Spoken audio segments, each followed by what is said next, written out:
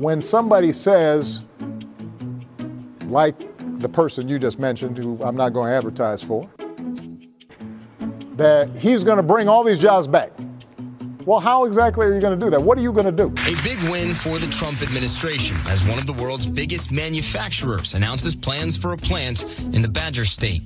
Some of those jobs of the past are just not going to come back. Taiwan based Foxconn will build a $10 billion plant, creating LCD panels and 13,000 jobs. He just says, well, I'm going, I'm going to negotiate a better deal. Well, how?